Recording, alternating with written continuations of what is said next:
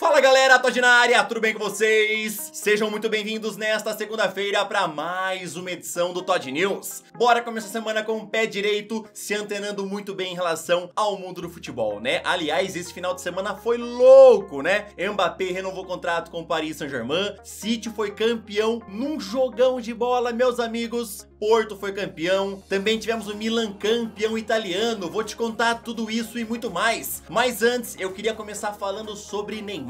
A temporada acabou para o Paris Saint-Germain e Neymar encerrou seu quinto ano em que vestiu a camisa dos franceses. Essa foi a temporada em que o brasileiro, desde que chegou na Europa, marcou menos gols. Ele disputou 28 jogos na temporada, onde marcou 13 gols e deu 8 assistências. Neymar nesse último ano conviveu com lesões, irregularidade e suspensões. De acordo com a imprensa francesa, o Paris Saint-Germain deseja negociá-lo nessa janela, já que a última temporada foi péssima para o brasileiro e também pelo seu alto custo mensal. O jornalista Eric Frozio do jornal L'Equipe informou que parte da torcida ainda deseja que Neymar fique, porém ele tem que mudar o comportamento porque assim não dá mais. A torcida quer um novo Neymar. E aí, vocês acham que já tá na hora do Neymar respirar novos ares, tentar uma Premier League, quem sabe uma volta para o Campeonato Espanhol? Não sei, né? Por enquanto, não li nada sobre times interessados em Neymar, principalmente pelo altíssimo custo e pelo baixo rendimento que ele teve na última temporada, né? Vamos ver como é que vai caminhar, porque a janela nem abriu na Europa e já já deve começar a ter novidades. Eu quero saber o que é que você queria que acontecesse com o futuro de Neymar, que ele continuasse na França ou que tentasse um novo desafio? Comenta aí, tá? Nesse vídeo eu vou te contar muito mais coisa interessante, então, sem mais enrolações, solta a intro! Damn,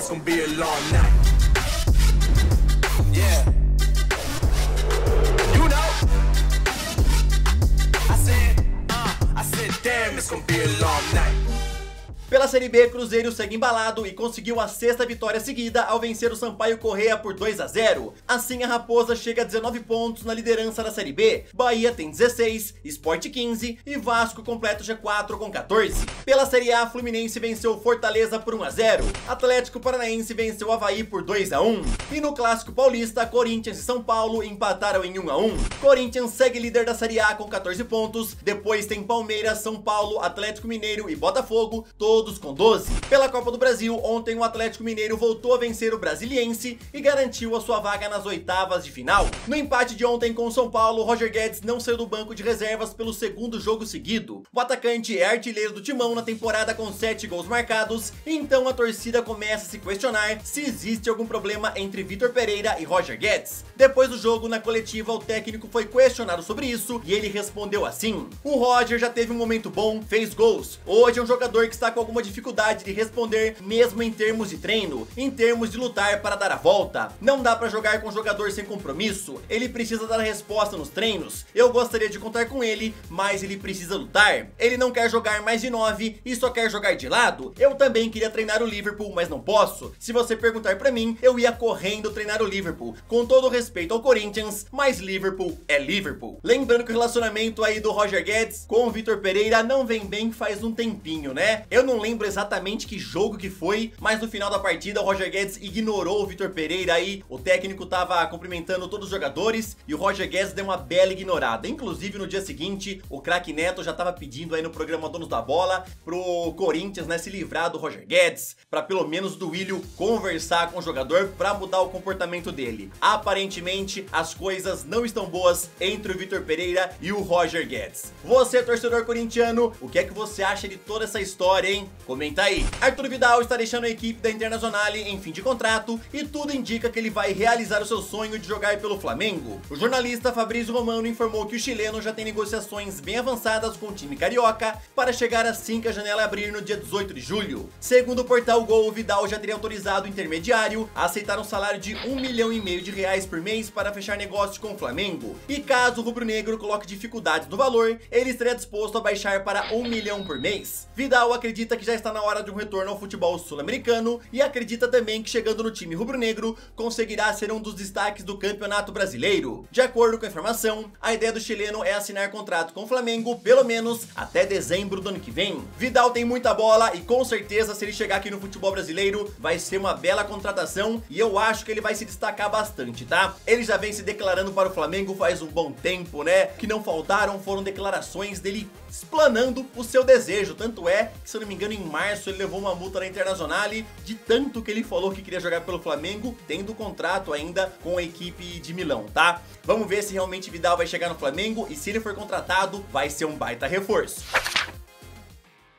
Agora eu já aproveito para te pedir aquela moral, martela o botão do joinha, se inscreve no canal e também ativa o sininho para você sempre ser notificado quando for saindo algum vídeo novo. Eu vou deixar na descrição o link do meu canal de games e também o link das minhas redes sociais. Aliás, chegamos a 70k lá no Insta no final de semana. Muito obrigado a quem apoia meu trabalho também lá na rede social, tá? Se você não me segue, vai lá que eu sempre posto bastante coisa que eu não consigo colocar aqui nos vídeos. E agora, bora daquele nosso rolezinho pela Europa. Ontem tivemos a final da Taça de Portugal, onde Porto venceu o Tondela por 3 a 1 e levantou pela 18ª vez a Taça de Campeão. Pela La Liga, Atlético de Madrid venceu o Real Sociedad por 2 a 1. Villarreal venceu o Barcelona por 2 a 0. Então Real Madrid, Barcelona, Atlético de Madrid e Sevilha foram para a Liga dos Campeões. Betis e Real Sociedad garantiram uma vaga para a Europa League e Villarreal foi para a Conference League. Benzema foi o artilheiro do Campeonato Espanhol com 27 gols. Pela última rodada do Campeonato campeonato italiano, Napoli venceu Spezia por 3 a 0.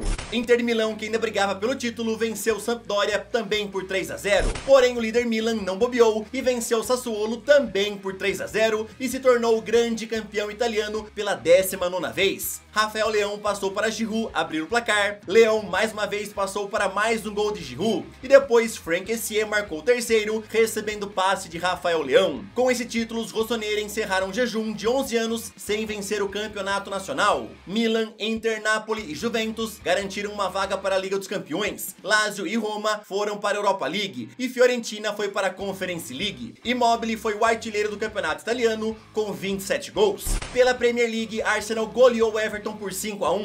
Chelsea venceu Watford por 2 a 1.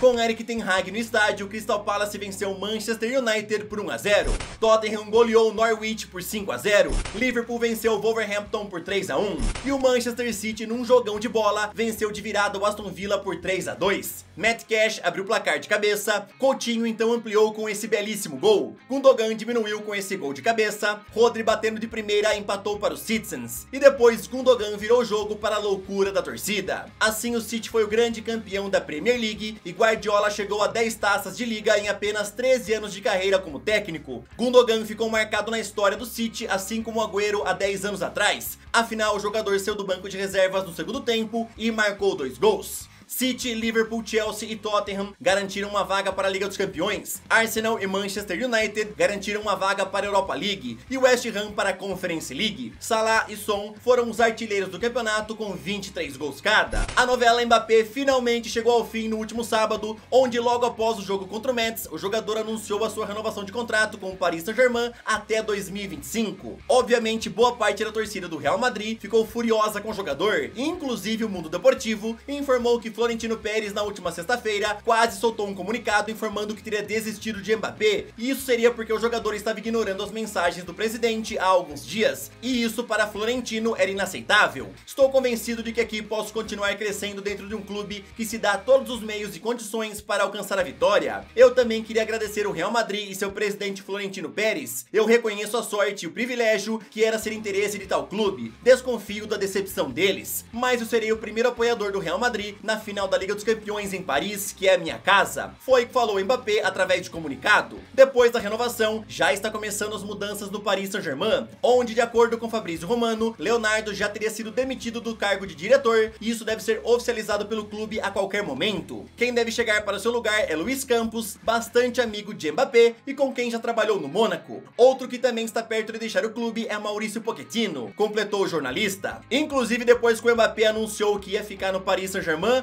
o Benzema, né, acho que ficou pistola da vida e começou a mandar umas indiretas nas redes sociais. Primeiro ele postou uma foto da mão dele, né, apontando pro símbolo do Real Madrid, que queria dizer que nenhum jogador é maior que o Real. E depois ele colocou uma foto do Tupac com um amigo que traiu o cantor, tá? Então realmente o Benzema deve ter ficado pistola e eu quero ver só a primeira vez que eles se encontrarem aí no vestiário da seleção francesa. Eu quero saber o que é que você achou dessa novela do Mbappé, você gostou do final ou você queria que ele tivesse ido para o Real Madrid? Comenta aí o que é que você achou, tá?